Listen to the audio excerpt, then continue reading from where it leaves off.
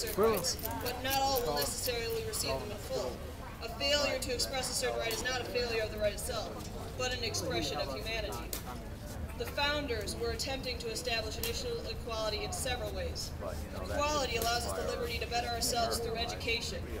Reason assures the people the right of controlling and participating in the government.